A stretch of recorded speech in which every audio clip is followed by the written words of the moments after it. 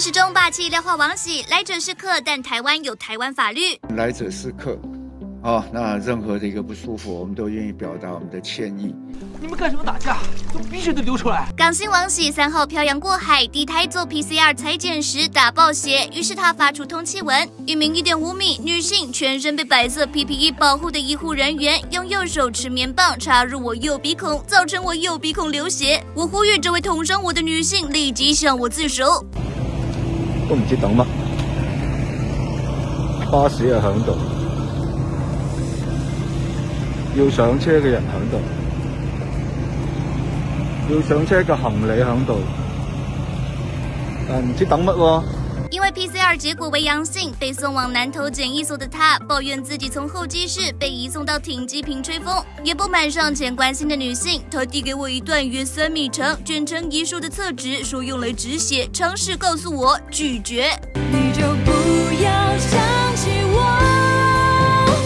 还真的坚持不用。疫情指挥中心发言人庄仁祥事后说明，该名裁剪人员将检体送回实验室，并非有意逃走。王喜呢，却抛出庄仁祥的黑白照。呃，你好像知道很多哟，你一定知道捅伤我的那个人是谁吧？而我不知道庄仁祥是谁。叫什么叫？哎，然后王喜隔天就道歉了，仍然希望检疫人员能给个说法，把他道歉对象的名字优先打对才有诚意呢。打错名字应该是看起来应该是无心之过了，那本人接受其道歉。也祝他早日康复。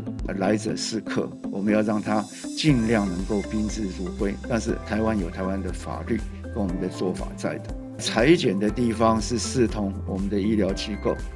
哦，台湾的法律里面很清楚，在医疗机构里面，我们是不允许对我们的护理医护人员，不管是行为的暴力或是语言的暴力，这都不被我们所接受。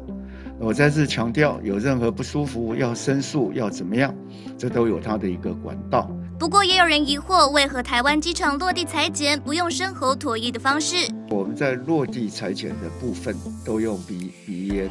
哦，因为在生活脱衣的时候，我们需要的时间就变长了，可能要等四个钟头、五个钟头，加上前后来回送简体的一个时间，相对就变得时间长。我们用 Liat 来做的话，大概二十分钟会有一个结果出来，哦，所以在这一部分也只能这样子做。好，那当然随着未来这个访单或是这样的一个使用的适应症或是使用的手段的所适用的情况情境有改变，那当然我们就采用让大家更。舒服的方式来做。